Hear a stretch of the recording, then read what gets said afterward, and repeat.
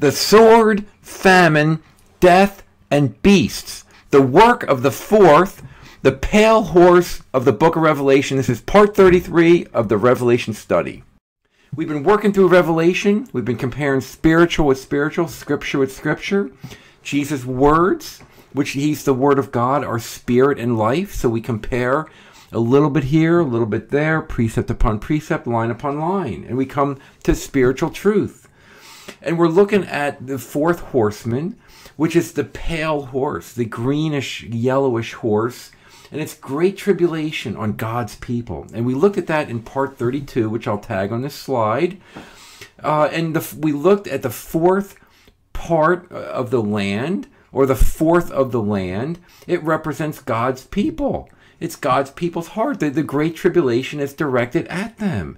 And that's what the fourth horseman has control over. He's going after that fourth part, that good soil of the four soils. But we need to look at what is it mean by killing by sword, famine, death, and beasts of the earth. So we're going to look at that in the study. Please consider subscribing. There's a little red button in the bottom right hand corner. Thank you.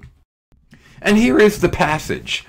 Uh, I looked, and behold, a pale horse. His name that sat on him was Death, and Hades or Hell followed with him. And we looked at that in the, uh, the last video, part 32. And power was given unto them over the fourth of the land, the fourth part of the earth, literally the fourth of the land, to kill with the sword, with hunger, with death, and with the beasts of the earth. We're going to look at that in this video. This is a, a picture a portrait of the Great Tribulation. It's directed toward God's church. So let's move on with our study. Okay, so here's some Great Tribulation parallel passages on this business with the famine, the sword, the beast, and death. Matthew and Matthew 24, Luke 21, Mark 13 are all from the Olivet Discourse. They're, they're great tribulation passages. We see in Matthew 24, nation shall rise against nation, kingdom against kingdom. There shall be famines and pestilences. Luke 21, they shall fall by the edge of the sword. Jerusalem shall be trodden down of the Gentiles. This all describes great tribulation. Back to Matthew 24, they shall deliver you up to be afflicted. That word afflicted is tribulation, and shall kill you, and you shall be hated of all nations for my name's sake. This great tribulation on God's church. And God's church is a mixture of saved and unsaved people. And we see the beast all through prophetic passages concerning the Great Tribulation and others, Satan is referred to as a beast, the serpent. The serpent is a beast. He's a great red dragon, Revelation 12. The Antichrist, Revelation 13, is, is the, uh, the leopard of Revelation 13, the beast. The little horn of Daniel 7 8, the, the little horn that comes out of the beast. The false prophet with the two horns, which represents the leadership of the end time church is, is a beast. Revelation 13. Satan's ministers in the church, they're, they're wolves in sheep's clothing. Matthew 7, Luke 10. We also see more passages uh, on great tribulation on God's people. That in Daniel 9, it says that the uh, Antichrist will come to destroy the city and the sanctuary. And the sanctuary is the place of God's people, which is the church. Revelation 13, the, the back to the leopard beast. It was given unto him to make war with the saints and to overcome them. The little horn wears out the saints. Um, the place of the sanctuary cast down, and the little horn destroys wonderfully the mighty and holy people. Great tribulation on the saints, on God's people, the fourth of the land. Daniel 11, another great tribulation pa passage. The people that do know their God shall be strong, yet they shall fall by the sword, by flame, by captivity, and by spoil. Many days. Daniel 11. So we see all these passages about great tribulation. It's directed at God's people. All these are parallel passages to what we're going to talk about. Uh, I'm going to tag the slide with a, a, link to go look at our Great Tribulation series that we've done on this. But let's move on with the study. Okay, so we also see the four judgments of Ezekiel 14. And we have this video on this, which I'll tag on the slide. In those four judgments on Jerusalem, and in the land of Judah, which included mostly unsaved people, but it was the church of God. And it was God's people. There was always a remnant there, but they received this persecution. And again, it's the same things famine, evil beasts, sword, and pestilence. And they're very similar to what's in Revelation 6. The only difference is death is replaced by pestilence. But pestilence brings death. So we see these four judgments of Ezekiel 14, which is a type of the Great Tribulation, a, a, a 70 year period of time where, where uh, Jerusalem and Judah were in captivity to Babylon. And these were the judgments, the Great Tribulation before the destruction of Jerusalem.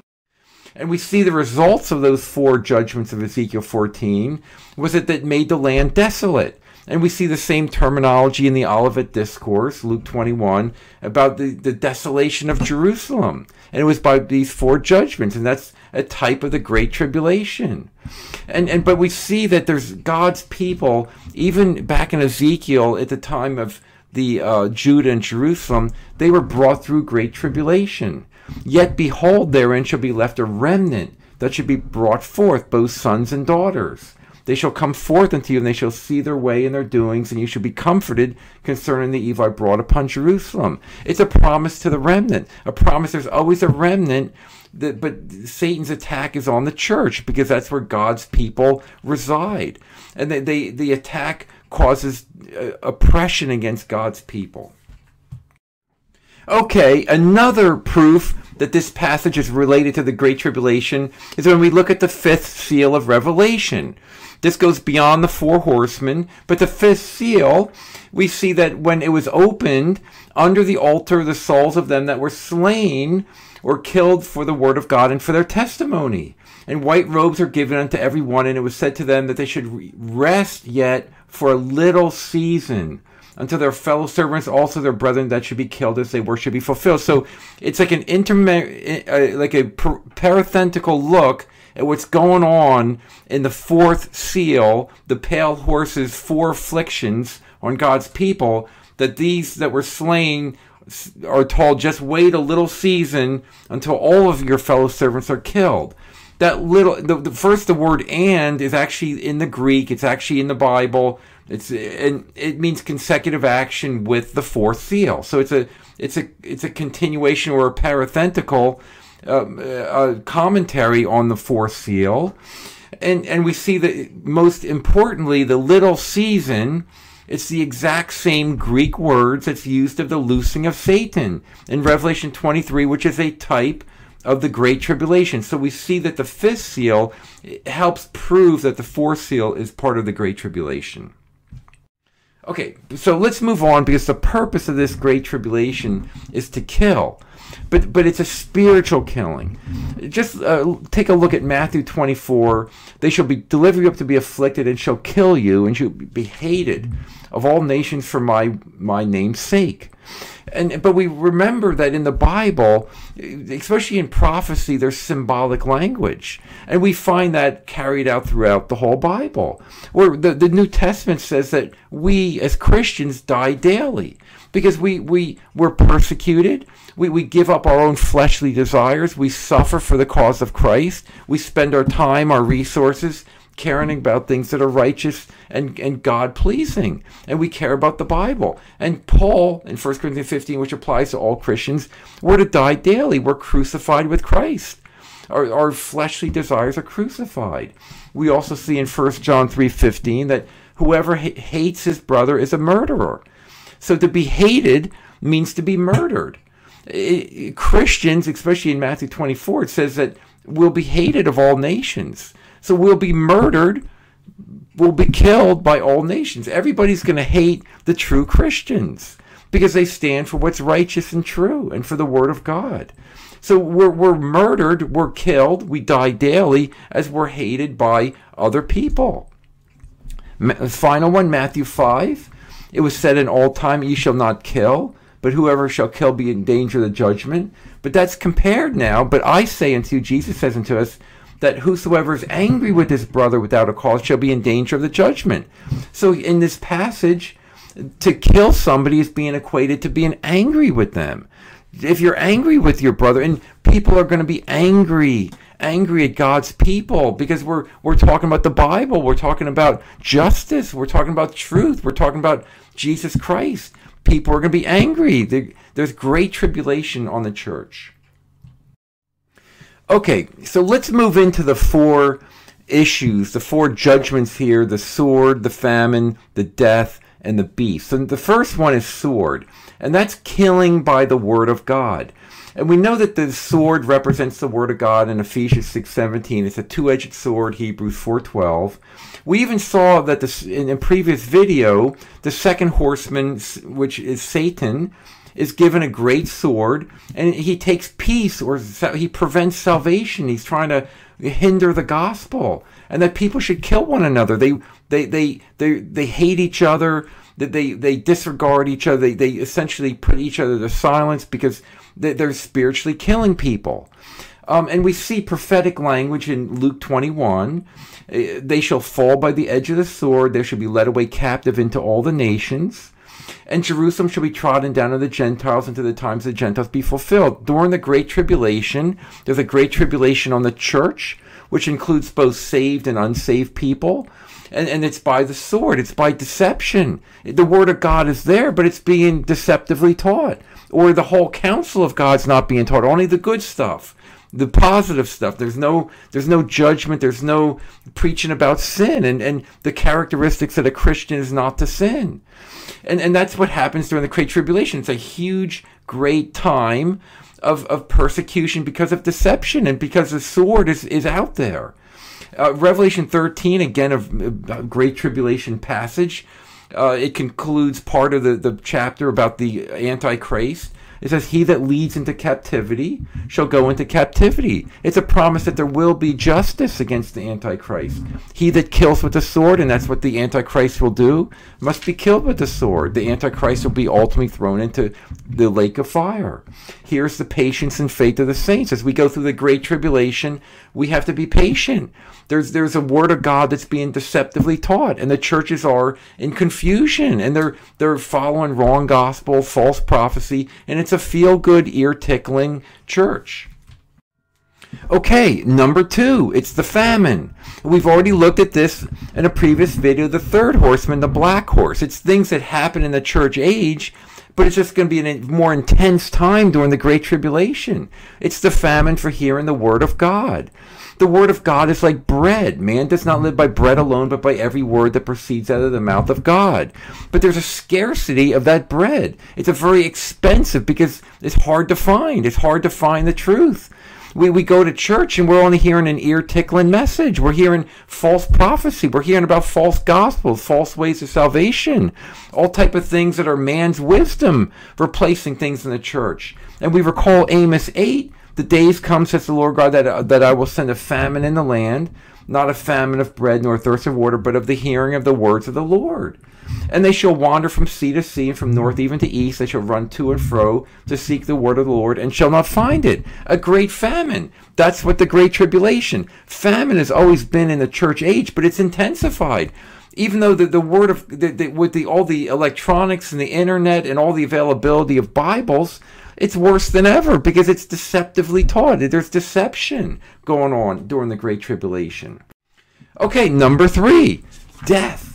It's the and we looked in the last video that death is the result of, of sin. Remember this fourth horseman, the pale horse, is death and Hades.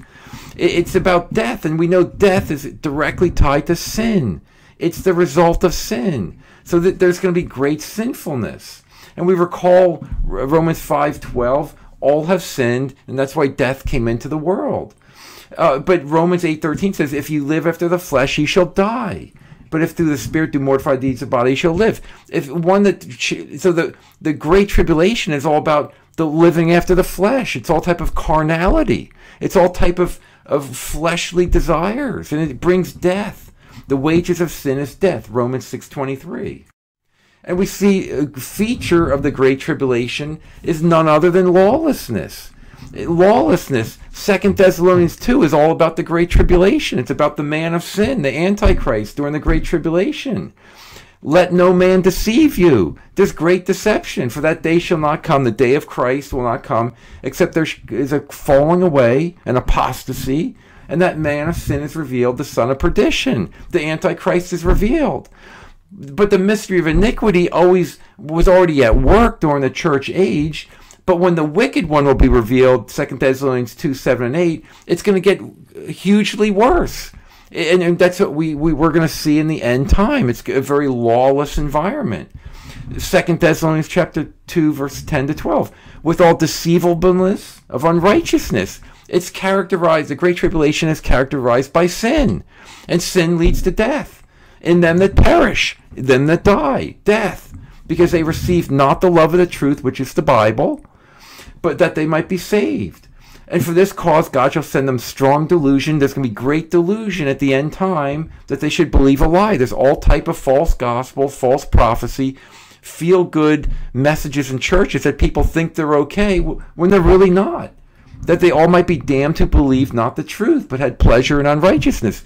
They, they have pleasure in their worldliness. The abomination of desolation in the end time is all about serving other gods and idols, and that's what we have around us today. We're in a very idolatrous time of this uh, period of history.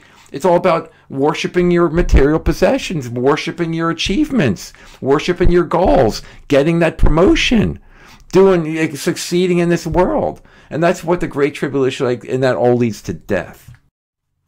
Number 4, the beasts of the earth.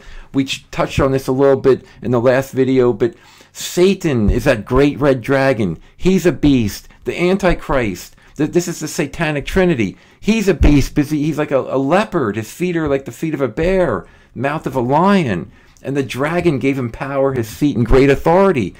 The, Satan is loose during the Great Tribulation. He gives his authority to this this this figure, the Antichrist, this man of sin, and then there's a false prophet with two horns, which represents the leadership of the church. It's going to support this nonsense and this evil and this sin. Another beast come out of the earth. He had two horns like a lamb, and he spoke as a dragon. He looks good. And this is, and we have we have videos on all this. Uh, but but the false prophet is is the is the one with the two horns. It's the church leadership and he exercised all the power of the first beast and causes the earth and them which dwell therein to worship the first beast. Worldliness. The church is going to promote worldliness. Okay, and there's more beasts in the church. We the, through the whole church age, there's false prophets that come in sheep's clothing, but inwardly they're ravening wolves. Uh, go your way, behold, I sent you forth as lambs among wolves. There's all type of wild beasts out there, and during the great tribulation, they're all around us. There, the beasts are everywhere. There's su- in 2 Corinthians 11, such are false apostles, deceitful workers, trans themselves, themselves into apostles of Christ. And no marvel, for Satan himself is transformed into an angel of light. They look good. They say they bring Christ. They look good on the outside. They, they, they, they have a Bible in their hand, but it's no great thing if his ministers also be transformed as the ministers of righteousness. Satan's ministers look good. They say they're for righteousness, but their end shall be according to the works. They're false ministers. Okay, so that, that's a, a, a quick uh, explanation of these four uh, these four uh, afflictions, these four tribulations on the church and on God's people: the sword, the famine, the death, and the beast. It's using the word of God deceptively. There's no truth to be found. It, everything's lies there's promotion of lawlessness, sin, worldliness, and the, the beast, the satanic trinity, and the false minister in the church are out in force. So we're going to move on now, and we're going to stick with the Great Tribulation, and we're going to look at the outcome, or a, a, a, a, uh, parentheses, if you will, that's discussed in the fifth seal about those that are killed in Great Tribulation in heaven. We're going to look at that in the next video. Please consider subscribing, and thank you very much for watching this video.